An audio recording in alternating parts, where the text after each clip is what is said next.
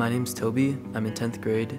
I go to Nathan Hale in West Allis, and me and my family have been going here for the past three years. As a part of the Bold commitment, everybody at Ignite was given three options of how we could get involved giving your time, giving your money, or sharing your story. I chose to give my time because that's something that I wasn't doing prior to the Bold commitment, and I felt like that could strengthen my relationship with God. Since we started the Bold commitment, I have started reading my Bible a lot more and reading devotionals, which really helped me get through the day sometimes, thinking back on things that I read.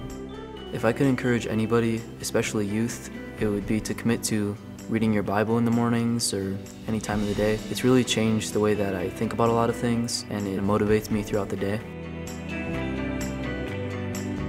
One thing that I've really enjoyed this year was being a part of my Ignite small group. It's really helped me grow in my faith and become more comfortable around other people and it's really helped me. Looking back on my commitment to Bold, I'm hopeful that it's going to encourage me for the rest of my life and just uh, continue to grow my faith.